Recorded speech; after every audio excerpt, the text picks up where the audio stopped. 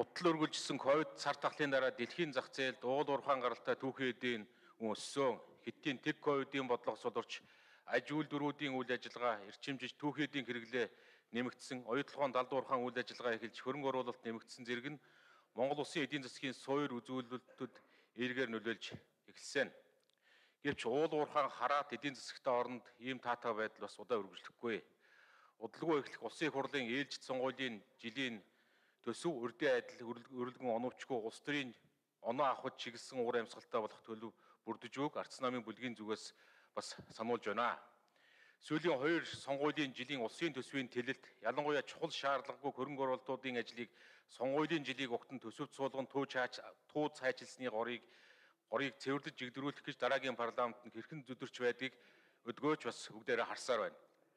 Ирэх сонгуулиа биш улс орноо бодож хонцгийн сэтгэлээр биш холыг харж ирэх жилийн төсвийг төлөвлөх ёстойг эрх баригч та бүхэнд бас дахин сануулъя. Сүүлийн жилүүдэд төсвийн орлого огцом өсч төсвийн тэнцвэржүүлсэн орлого 2024 онд 21 их 80 төгрөг болж 23 оны хүлээгдэж буй гүйцэтгэлээс 2.1 их 80 төгрөгөөр нэмэгдэхээр харагдаж байна. Жилийн дотор 2 их 80-аар энэ нь 17 оныхоос огцон буюу 3 дахин тэлэхээр үзүүлэлтэй. Уул уурхай давмгаалсан төсөвтэй улс орн дэлхийн зах зээл дээрх үнийн таатай үед хуримтлал хийхийг эрмэлздэг.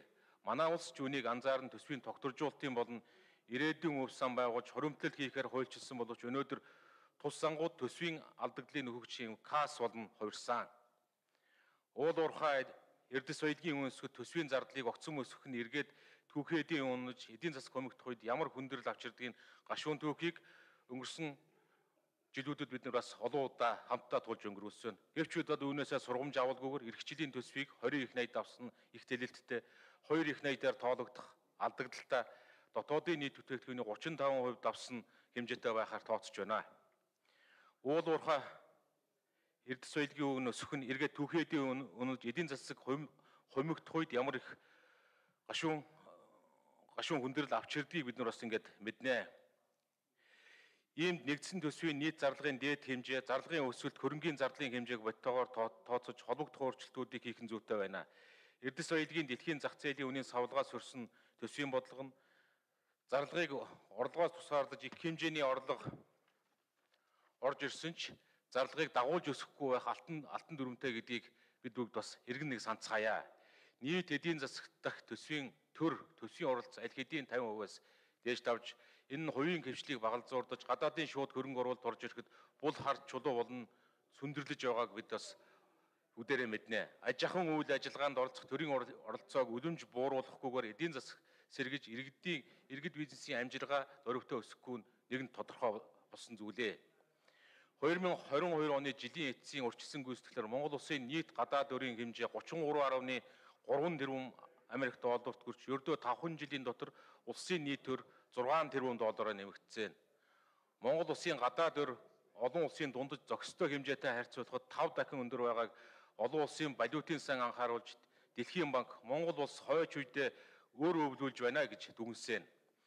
Хэдийгээр 21.8 тэрбум долларын Америк долларыг аж ахуй нэгжүүдийн өр гэж буйж үүний цаана оюу толгоон гэгд 30% 34% ноогдохоор хууль өөрчлөлт оруулах замаар нуусан төрийн өмчт компаниудын өр зөөл хөгжлийн банкны бонд зэрэг эдгээрт бас багтаж уу бид нэр мартаж болохгүй.